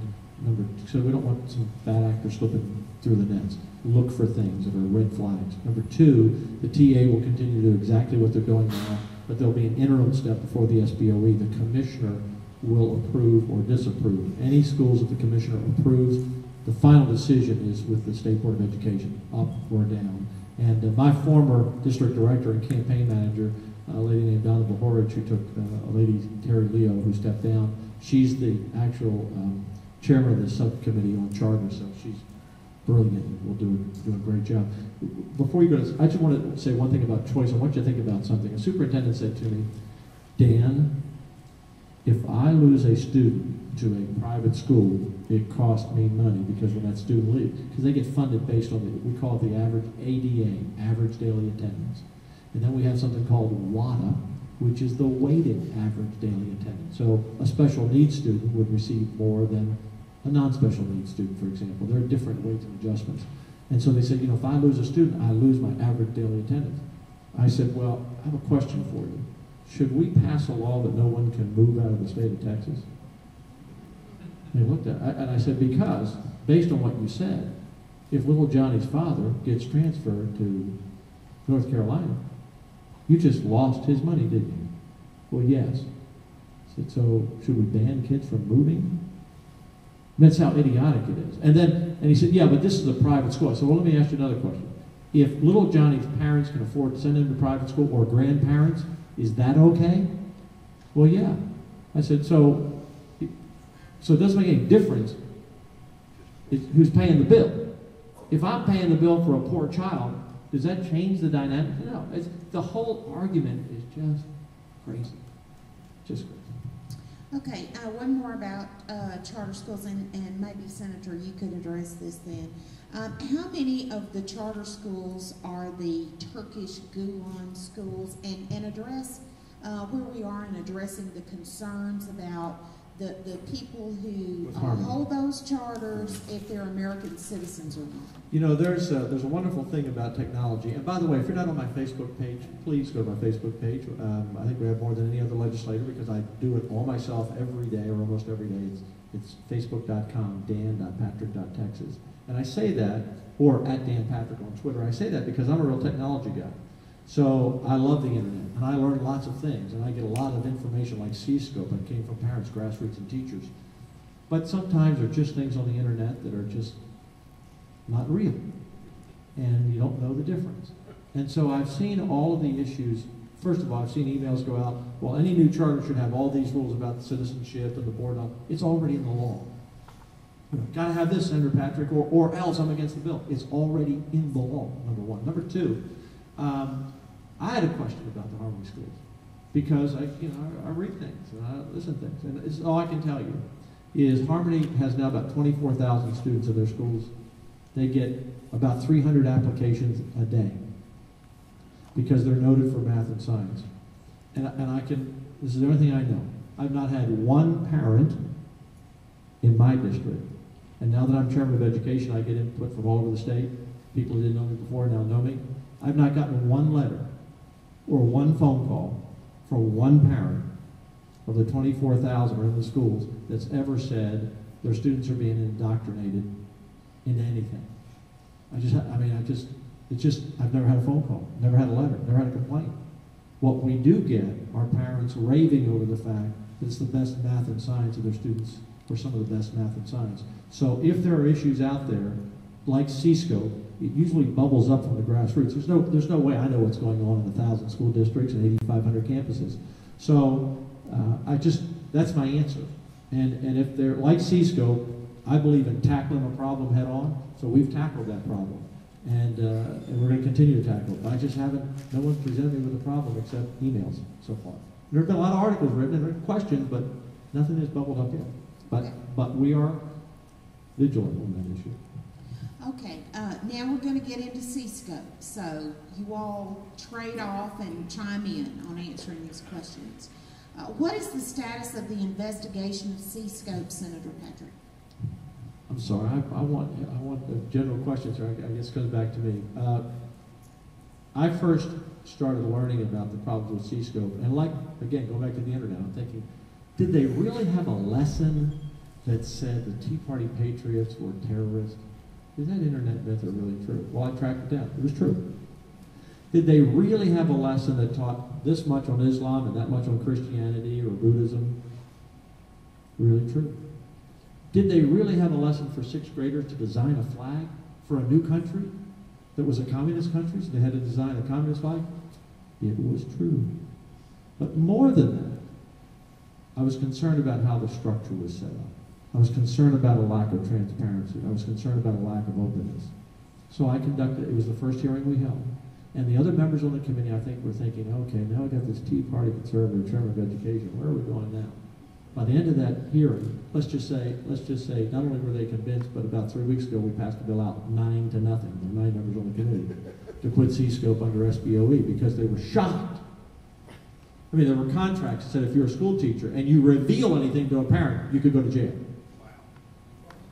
And every time we brought up something to the, to the C-scope board, they'd said, well, we've taken that off the website. We've changed that. And let me tell you what C-scope is real quick. In rural district, we have, we have regional service centers in Texas. The state's been divided into 20 regions, and each region has a service center. Now, there are a lot of people who don't think we should have any. Some people support them. But in rural Texas, they tend to be more popular because what a regional service does is provide service to schools and school districts. So in smaller schools, and, and you have to remember, we have, again, it's all, actually close to 1,100 school districts. 65% of all students go to only 97 school districts. The, the average school district in Texas is less than 2,000 students. I mean, they're very. We have a lot of school districts that are under 500 students. So they're very small, and they don't have an IT department. So if they have a computer issue, they need help. They don't have an HR department. They, you know, so they may not have a curriculum manager. So what C-Scope did was, uh, it comes out of the 20 regional service centers, and I forget what C-Scope stands for. I can't remember the acronym, but it doesn't stand for anything, and it's not worth anything. So there we go. And and so they started providing. They started out as as a management tool for a new teacher so that you knew where you should be in the third week of what you should be teaching in the fifth. So by the end of the year, you're where, you're, where the state board of education says you're supposed to be. That's okay. But then they started opening up into these lesson plans. and they take lesson plans online, and they testified, no checks and balances, they had no idea it was, we asked about the communist flag, we don't know about that lesson. Every, yeah, it's always, you know, we don't know, we don't know. And so out of that hearing, I, I got them to agree to close down their private corporation. I got them to agree to put their lessons online. I got them to agree to a number of things. Well, I'm not so sure they've agreed because I got an email two nights ago dated April 3rd that the Decatur district, which is up in the Dallas area, is it not? The Decatur superintendent wanted to charge a parent $515 to get copies of the lesson plans. And in the email to the parent, the superintendent of Decatur said, I need to check with C-Scope and see if I can give this to you. So they're already, in my view, and I've sent this out to other senators. They say they're complying, but I don't think they're complying. So I like, I just think they need to be out of the lesson plan business, period. and That's where I'm going to keep pushing. But until then, we're going to put them under control of SBOE. They have 1,600 lesson plans we have to review. Can you imagine how many lesson plans do you think they have in social studies for kindergarten and first grade? How many could you possibly have? 82. Just for kindergarten and first grade. And I don't know what's in them. So, so we're we're we're on that we're on that issue. Uh, Let me just add a bit to Senator Patrick's comments. I had the privilege of serving on the Regional Service Center in Austin when we founded our charter school back in 2000. Um, I was asked to serve as the first charter school representative on uh, the Regional Service Center. And they didn't want charter school representatives on the board. And when they allowed us on the board, they did not want us to have a vote on the board. So I was just there. But I was glad I was there because it gave me an opportunity to see the inner workings of those regional service centers up close and in person. And I must say, uh, to my chagrins, we thought it run more like a for-profit enterprise that was simply focused on making a dollar than it was on doing what was in the best interest of those districts and those children to produce better outcomes. And we talked about this in 2003, 2004. So this is just um, an example of how they have used billions of dollars historically to use for their private enterprises. And when I brought this up to Senator Shapiro, Shapiro back then, they heard me, but the next thing I knew, I was off the committee, off the board. So I didn't get to finish my third term. Oh, by the way, they had us um, have to be reappointed each year. So there was no continuity. And it's, it's a system, folks. It's all a system. This, when I first heard about C-Scope, I said, it's the chicken, uh, what is it, the rooster coming home, uh, the chickens coming home to roost? Yeah. They've been operating out of this way for years and years and years. And they go in when it's convenient and utilize the state system, and then they come out when it's economically feasible for them to and not have to adhere to what Senator and some of the others have been questioning them on. So I appreciate this effort, but until we get a handle on those regional service centers, that mentality is going to continue to spin the districts out of control because many of them are refusing to move. We call them the educational mafia back in the day. Because some districts don't want to use their services at times, but because of the pressure and how the system is set up, it forces them into uh, embracing things such as this curriculum uh, that many of us don't think is in the best interest. So that's my two cents. It's a mentality of well, the system. Thank you. I will give you a success story with C-Scope here, um, so it's not all doom and gloom. Um, as I said, I pulled my son out of Garland Independent School District, put him in Wylie Independent School District. Then I found out that Garland didn't have C-Scope, but Wylie did. So I went from one extreme into the other. Um, but I will tell you that the first thing we did, being who I am, we set up a meeting and brought in a, someone that had been going across the state speaking about C-Scope and invited all the parents from Garland, Wylie, and the surrounding cities. And needless to say, that night a coalition of parents was formed. Uh, putting a lot of pressure on the Wylie School District, the superintendent had two parent meetings gave us the whole presentation, how it began, and how they use C-Scope. So leaving this two-hour meeting to, you know, a 30-second roundup is now what we've been able to do as parents is working with the school district. We can go up to the school anytime we want. We can log into the computer system and review every single lesson plan that our children are going to see. He went a step further because there were a lot of parents concerned because of the truths that you speak of. So now on the Wylie Independent School District, they're going to post the lesson plans that week online. So if you can't go up to the school and log into the computer and review your child's lesson plans, they'll do that. You Can't access the tests, but you will be able to see what your child is learning. The good thing that Wylie has done with these contracts for teachers, they did not block their teachers from reviewing the content of the lessons. Their teachers were giving access in the summer so that they could actually look and see the lesson plans prior to school starting. Most cases you hear the horror stories about teachers getting the lesson plan that night and then having to teach it the next day, which I agree is extremely ridiculous. The teachers in Wylie do not have that. They have freedom and access to the system. Parents now have freedom and access to the system.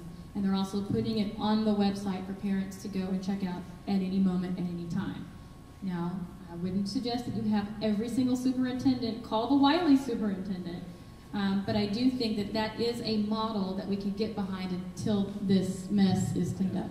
And when I first, uh, when I was named chair of education in the fall, I went around the state to meet as many superintendents as I could because I really I like to listen. That's how you learn. And much, much of what's in these bills, I mean, the superintendents like a lot of our bills, teachers like a lot of our, not 100%, didn't expect them to. But like my wife said, you're not going to make them all happy. That's not my goal. My goal is to focus on the kids, what's the best environment for the kids. But I had a lot of superintendents tell me, I'd ask about C-scope, and they'd say, Dan, I would never use it for a lesson plan. Never. We just use it to keep our teachers on course on what they're to be teaching. But there are a lot of superintendents out there who testify. They never read the contracts. They don't know what's in the lesson plans. And, uh, and so some of the superintendents, like in Wylie, obviously are doing it right, and others are not doing it right. And they need to be held accountable. Yes. I'd just like to add a comment to that. I think many of us are also concerned that C-Scope uses the Common Core curriculum model.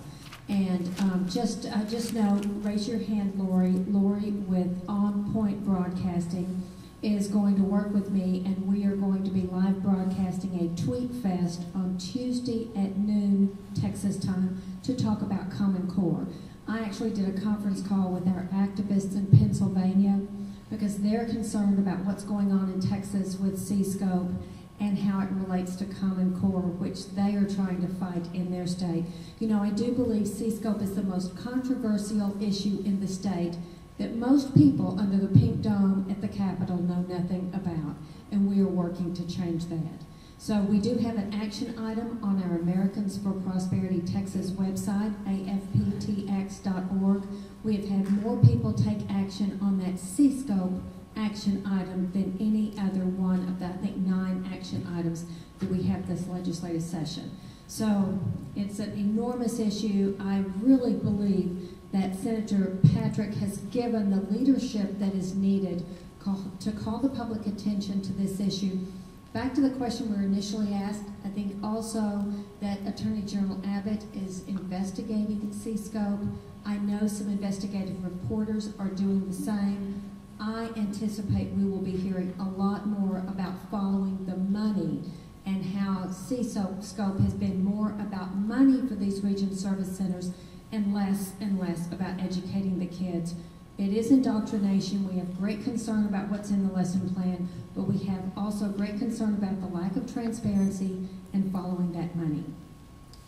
Peggy, I would expect then that after General Abbott finishes his investigation would be, that would be the juncture at which we could look for ways to um, either eliminate the regional service centers. In other words, we will have grounds to do so, or there will be political grounds to do so we might just add, excuse me, that um, the region service centers are up for sunset. This is a regular process that the legislative um, uh, session, that the legislature takes to review agencies and um, public entities to see whether they're useful, are they running efficiently, are they working well, what are the recommendations then that might be given to the legislature that they might enact that next session.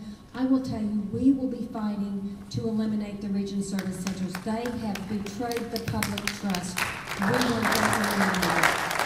And I think there's that the Texas Region Service Centers do that the private sector can't provide. And big school districts, why should we have every single school district having to purchase lesson plans? That is an absolute waste of our money. And let's face it, C-Scope doesn't sell lesson plans, they rent them to you. You pay per year, per child, and no matter what you've changed or what you didn't like about it the year before, you buy that same substandard material that next year you rent it per pupil. So we'll be working to eliminate them. And the did a study of all the C-scope schools. They're in 875 schools, districts. And the, the school, overall, schools that used the C-scope lesson plans, their students performed at a lower grade on the STAAR test than school districts that didn't use. And yet we had, when we had testimony in our bill last week, I had superintendent after superintendent come up. Rah, rah, we love C-scope, rah. They brought all their customers in. It really aggravated me. Quite- In fact, one superintendent went back up and they gave him a high five back there because he really challenged us, basically to get out of his life. Well, I'm in his life. Um, and, uh, and I'm not going away. Talk about the one that said that he vetted C-Scope. You, you shut him down. Yeah, because, yeah, he, he, he hadn't even read the contract, so he didn't, he didn't, know- he didn't know what was in anything. And I said, "Aren't- aren't you concerned that the lesson plans teaching basic math and science are incorrect in your classroom? Well, everyone makes mistakes, we mistakes. No, you're not supposed to make those kind of mistakes. Lesson plans, that, you know, two and two out of nine doesn't work. Not that that was it, but, but, and, and the, and the last, so you know this, C-scope is not under control of anyone. It's outside the State Board of Education, it's outside the legislature, it's outside the commissioner. The commissioner has authority over the regional service centers, but not authority over their products and programs. Well, I just added an amendment to our sunset bill uh, on Thursday, or uh, our big education bill. I added an amendment that will give the commissioner authority over the products and services, so he can close them down. Now, I need to get that amendment passed, Tea Party supporters, and I need to get that amendment passed uh, in the Senate, get it done in the, in the House. And then the commissioner can give him to pay attention, because he can close it down. Uh, Peggy, this one is for you. What is the best way to get people informed about C-scope so that they can uh, inform their district? You know, uh, actually, JoAnn and I were at a meeting, can we talk about this? We were in a meeting last weekend, no secrets really. The Tea Party leaders from across the state came together to talk about C-scope, to recognize that C-scope is one of the most important issues. Let's face it, what goes into our schools today is how our government is going to look tomorrow, right? And so um, the Tea Party leaders have agreed to take C-scope on as an issue. I actually have a conference call, a strategy conference call with a number of C-scope activists um, Thursday, uh, Wednesday evening, I think the 17th. And we are talking to folks uh, both inside and outside academia. We are going to come up with an action plan with material. Right now, we all know all politics is local. We can't change Washington, D.C. and the debt load there, I tell people, if we can't change our local government debt load. So, folks, all of this is local, and I salute Katrina and so many people across the state who have taken action with their own school boards. Some school boards and some superintendents are more uh, are more eas uh, easier to work with than others, are more malleable, more willing to to listen. But the bottom line is we have to start taking control of our schools. Unless we start running good people for the school board, we are going to continue to lose control of our schools.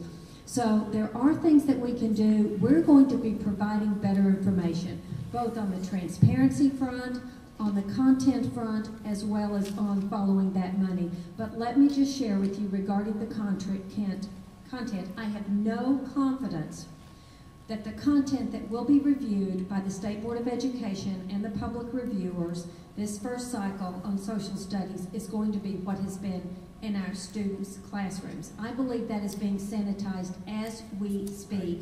And when parents come to me and show me lesson plans and say, I complained about this, and they changed it immediately, I said, and what makes you think they did not change it back the moment you walked out of their office? This can't be something that can be changed at the whim as if there is someone behind the curtain making these decisions and, uh, and we simply uh, can't step back and allow that to happen. We have to take control. I, I have absolutely no confidence in the region service centers. I will say that again. They have betrayed our public trust, and we must move forward, us uh, eliminating them and taking control. Guys, I had to sit on the job. The old girl's back is hurting. Okay, uh, Peggy, uh, probably maybe you you've done so much work on this. If if C-Scope is not under anyone's official control, how did it? How did Texas schools get it anyway? You know, here, I, I will first say, I'm no friend to most superintendents, and, um, and yet, I wear that banner proudly, that's probably true, thank you. But I do believe that many of them bought this product with confidence because they have had trust in the region service centers. I believe that's where the region service centers let us all down. Because so many, I've had, I've had school board members call me and say, Peggy, I just want you to know we have C-scope in our district. We had no idea what we were purchasing. We had no idea what content was in there. And now we're stuck with it because that's the, the curriculum that we are using. Now remind, remind you, at first the Region Service Center said it's not curriculum because curriculum is supposed to be approved through the State Board of Education. And then they, then, you know, of course, Senate Bill 6 last session said that online material could circumvent the, uh, didn't have to be approved by the State Board of Education, as our textbooks are, because we use permanent school funds for those. And if you want to use the permanent school funds, you have to use an adopted textbook. Well, I think that was well intentioned when it was passed, but it gave them this circumvention. However, they've been in our school, schools since 2006. I'm sure they fought to get that circumvention, so they had a little more legitimacy. But, um, but I think the bottom line is that many superintendents probably didn't even know what they were buying. But now they are too hard-headed to even admit that they made a mistake and to see some of them come before the committee and say to people like Chairman Patrick, I fully vetted it and I'm confident it's the best product for our schools. When the schools are not doing better under C-Scope, when so many errors had just been pointed out by SBOE Chairwoman Barbara Cargill, for someone to sit there was so ludicrous and, and so hypocritical to say, I fully vetted it, when clearly they either didn't fully vet it, vet it or they don't give a rat's ass what's in the kid's school.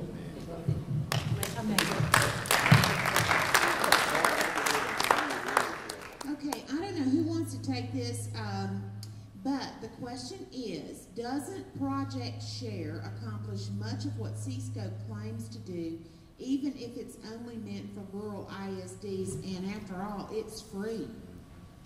Does anybody want to comment on Project Share?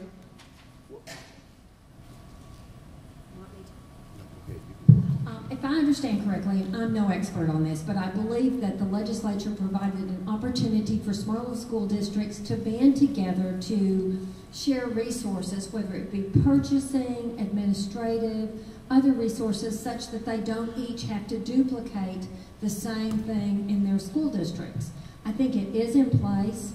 Uh, frankly, uh, let's face it, I think uh, we have so many school districts, it makes sense that they should be consolidating some of those services, but maybe we have too many school districts. Horrors for me to say that. I am a, a graduate of Odessa Permian, Friday Night Lights, Mojo Mighty Panthers. We love our football. We here in Texas love our football, but folks, there's a way to preserve our football, but still make sure that kids get a quality education and that we don't have to have one non-teacher for every teacher in our schools today. That we don't have to continue to spend 50 cents out of each education dollar on something other than instruction, the major purpose of our schools.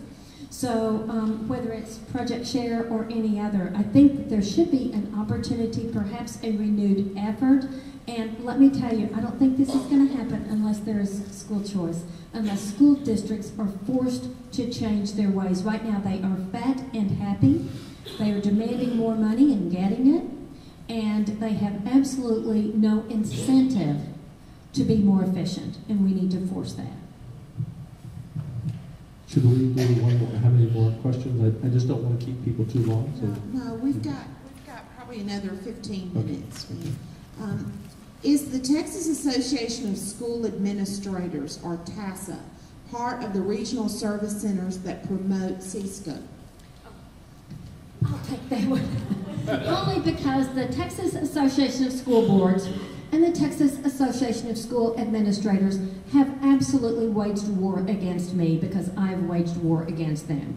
Folks, these are folks who take our tax dollars from our school districts and then what do they do? They fight what parents want in our schools. So um, the Texas Association of School Administrators has nothing to do with Education Region Service Centers, though they may very well be promoting some of that material. I will tell you that I just got a PowerPoint presentation that one of the C-Scope school district superintendents had given at the spring TASA uh, conference. And in that presentation, she said that they needed to be more proactive in voter registration, among other things. Now, folks, if that doesn't send a chill up your spine and make you angry, I don't know what should. Because they have absolutely no business in voter registration or in anything to do with elections. So, um, and, again, we're going to be releasing this. I forget the name of the school district, or I would tell you. I want to say it was one of the superintendents that has a presentation out slamming all of us who are opposing C-Scope. And right now, C-Scope and the Region Service Centers are sending material around to the C-Scope school districts how to defend C-Scope, how to deal with parents and the public who, um, who come in to oppose C-Scope. They have an enormous PR campaign. Their website's changed. Their material on their website has changed. They are ready for battle, but folks, we are too.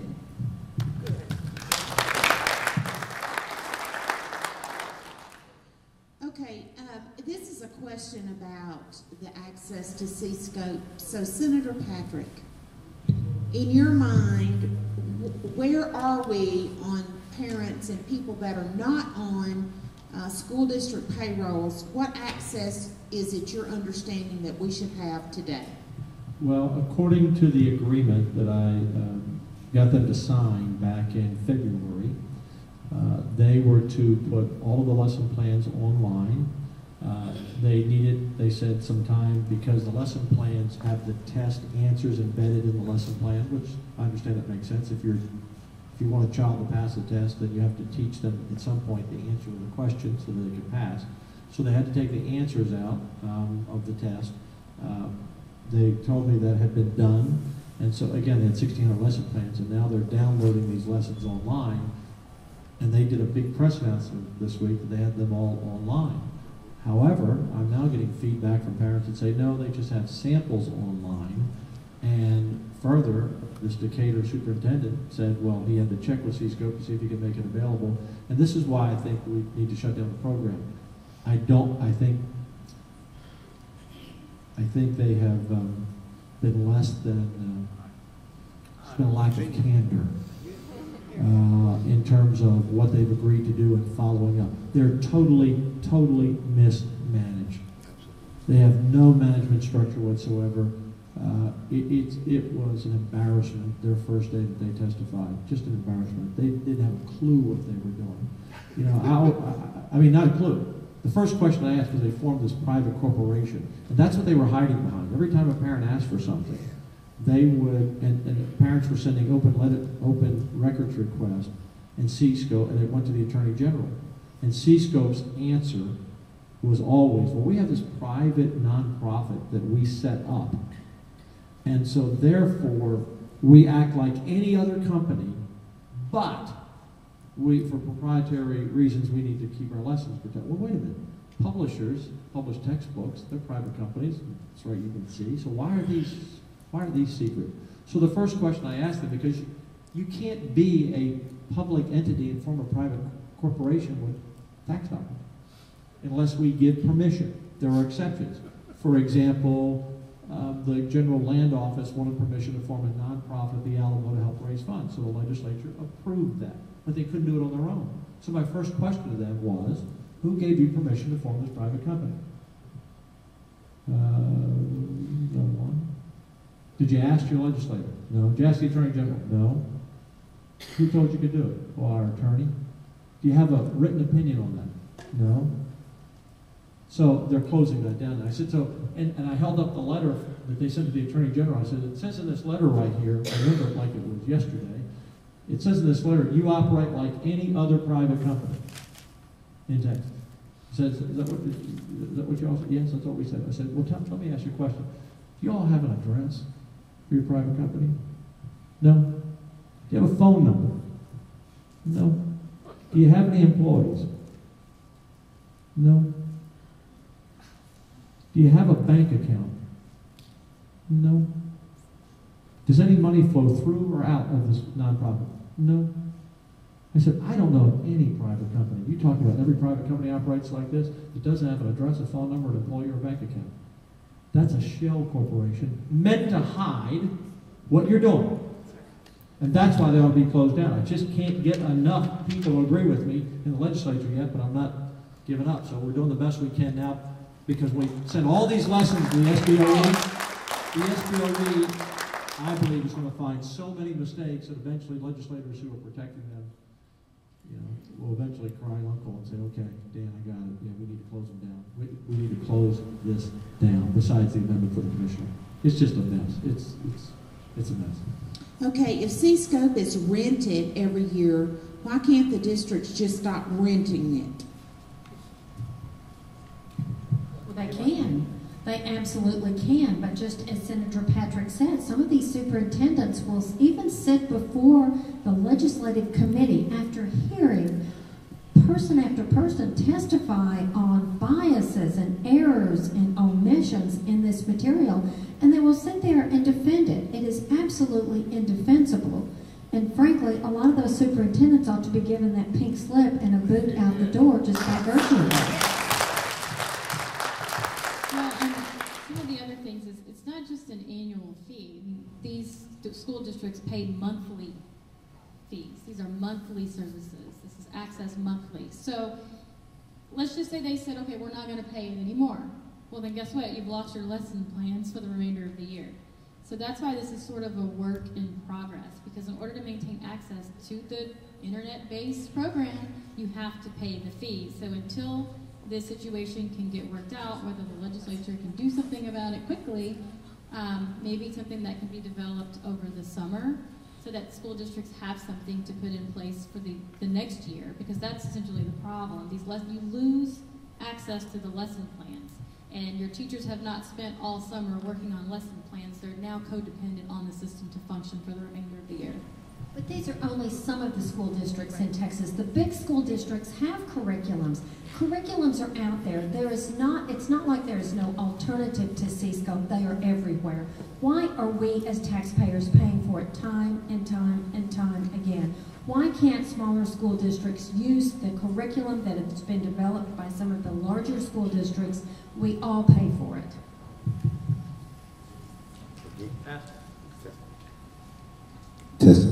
Again, it goes back to the notion that they're operating a governmental enterprise as if it's a for-profit enterprise. And they're not looking for what's in the best interest of the state or the people. They're looking for what's in the best interest of them making money. Because otherwise, they would, I, I'm getting some feedback. Otherwise, we would understand now with the internet the ability to put material out there for free that you could get textbooks online on a DVD or disc. You can get all of these things online free of charge. Uh, we've already paid for them once. They're just coming back and paying for and making money off of them again. without looking at what's in the best interest of the kids. Imagine when they set up this quote unquote enterprise.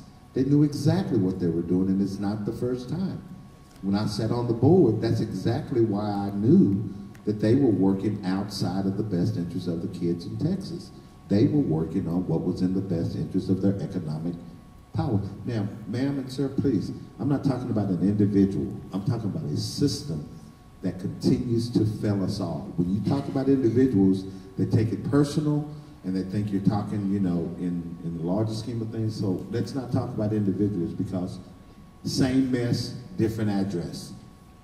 Almost 1,200 public schools, you'll see it happening all over. When there's free money that you feel you're entitled to, you're going to do what you think is in your best interest.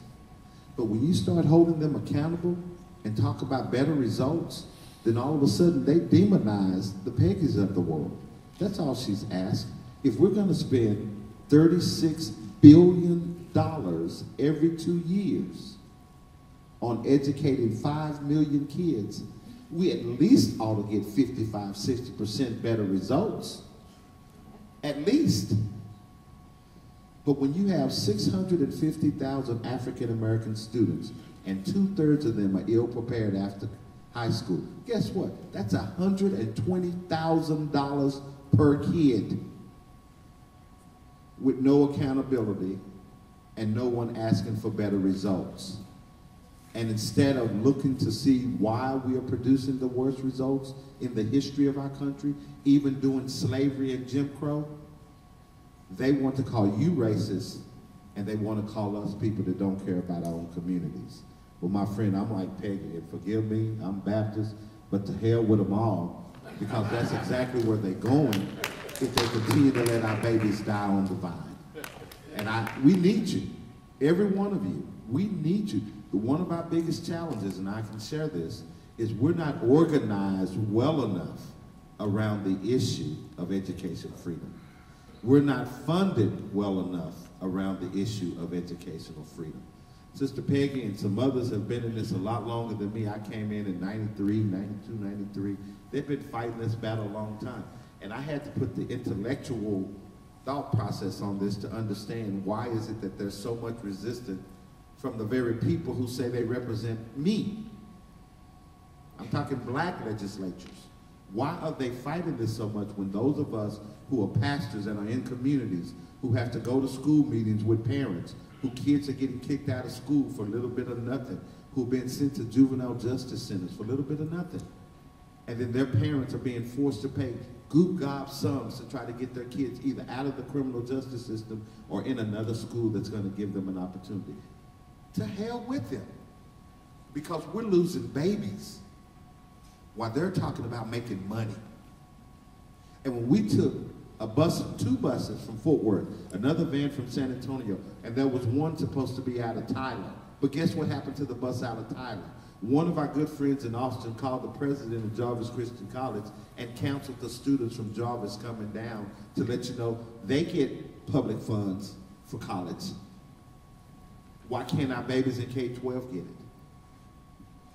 Y'all, and I'm gonna close with this. The reason I wanted to come to Tyler was in 1965 at the beginning of the year, the man who impregnated my father told her to have an abortion. She refused to have an abortion and she took her babies. We were poor. Took all of us and went west to Fort Worth. Found an abandoned house. We lived in an abandoned house my first, before when my mom was pregnant with me. I was born premature with jaundice and the doctor gave up on me on day one. After six days in an incubator, they finally took me to my mom on Christmas Day. I lived in poverty my whole life. The way I got out is I had big hands and could catch a football, and I ran pretty fast. But when I recognized that I got out and the other nine were left back, God said to me, it's your responsibility to go back and open up access for them. Whether it's in Tyler, Fort Worth, Dallas, or Odessa Permian. Our kids are producing the worst outcomes of any children in public schools. The state of Texas has come to the conclusion that when everything is in common, the number one factor that is causing the worst outcomes are the institutional racism within public schools. Folks, we need out. Not tomorrow, not in the future. People like my mom, who they said because she was poor, we lived in housing projects and everything, we didn't deserve the same opportunities. Walk by private schools who were doing a great job with a bunch of kids, could only marvel at the ideal of going to a private school. But headed to an elementary school where the teacher says, you're nothing, you're never gonna be nothing because of your place of zip code and where you come from. Folks, this is real. This is really real. And we need more feet and we need more finance. Because this past week in Senator, uh, Senator Patrick's uh, hearing, we brought all of these superheroes, the mothers and fathers, some on canes. The oldest man was 92 years old. He said, I voted Democrat my whole life, but if they don't vote for school choice, I'll never vote for them again. This is real. We need your help. Don't allow the naysayers or the doubters to cause you to pause. We need you to be supportive of Peggy. We need you to be supportive of Senator Patrick. We need you to be supportive. If the Tea Party is pushing this issue, then support the Tea Party. We have some ministers for education, and we're hoping to get more ministers because they understand it up close and personal. And you know what they're looking for? Options, access to their same money that's going outside. So thank you all. Tanya and I, we drove down. We're going to drive back. Got to preach in the morning on this stuff. Um, but I want you to know, it's places like this who have the courage in the midst of the battle to come together and talk this out that, really, that is really going to make the difference. So thank you all, Grassroots America, and everyone else, uh, Americans for Prosperity. Thank y'all very much for allowing us to come, but we can't do it without you. We need you. Black, red, yellow, black or white, they're all precious in God's sight. Thank you.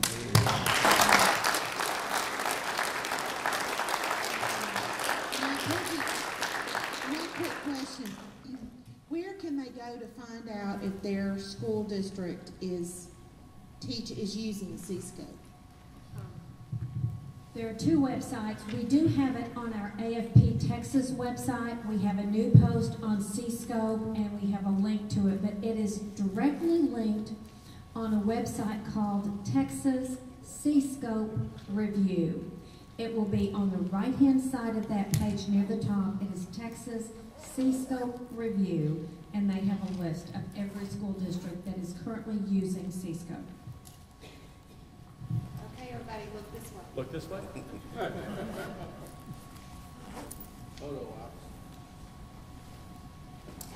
you. And remember, um, if you go to fa- if you're a Facebook person, it's dan.patrick.texas, and on uh, Twitter, if you're a Twitter person, at Dan Patrick. Very easy. And it's been a real um, privilege for me to come here. I appreciate JoAnn you setting this up. She's been wanting me to come for quite a while, and our schedule is busy. We don't really do. Uh, I don't take too many uh, speaking engagements during session because we're. In fact, my staff is working at the Capitol today because we have our testing bill up on STAAR Test and Curriculum Tuesday. So that's a major piece of legislation we're working on, and so Jan and I will be heading back uh, immediately as well. So thank you all for coming. Thank you for caring enough. That's the bottom line. You know, you just have to get people to, to care and realize what the issues are. And uh, people are busy. And remember, it only takes a small amount of people. You know, the old 80-20 rule is the same in life and everything you do is, you know, most people are going to drive by and down the freeway and not pay attention. That's why your power, your power is multiplied by so many because most people are going to step back and let you do the work. So your amount of work and your amount of energy and your amount of intellect on any given issue is game changing, game changing. Um, so we can't we can't have any success without you. And so I appreciate it, and uh, thank you again. And uh, in fact, you all are coming into Austin tomorrow. We have a team, so they're driving into Austin tomorrow. They'll be uh, following us up there tomorrow.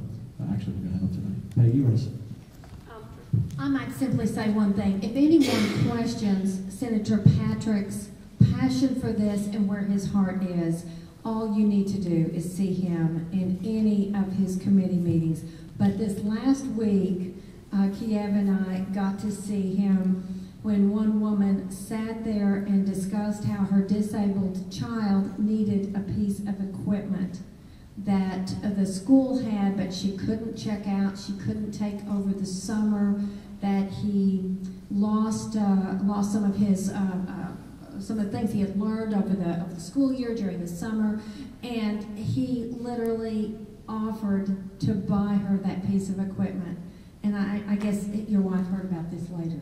But um, I the knew she'd fact be is- in. but the fact is, it was so touching to see that he truly cares about these kids. And I, I believe that so many of the education community do, but so many of those we see at the legislature are really there for the adults and not for the kids. It is so important that you weigh in. Thank you for inviting us and letting us be a part of this. And I just want to say thanks to Grassroots America for always hosting very good, informative events, and that you all have an interest in this. Many of you can't go to Austin, so just a reminder that you can watch these hearings on Texas Legislature online. You can go back and watch previous hearings if you want to get caught up on a particular issue of your um, interest. Um, you can follow me at Katrina Pierson, Pierson with an I. And um, that's another way to keep up to date if you're in front of a computer, just to follow the feed on Twitter. Um, it, it gets pretty intense on there sometimes. So um, I highly encourage you to follow it because there are things that are going on that we probably can't remember right this second to tell you. Uh, but if you can follow it, we highly encourage it. And thank you all so much for having us again. We appreciate it.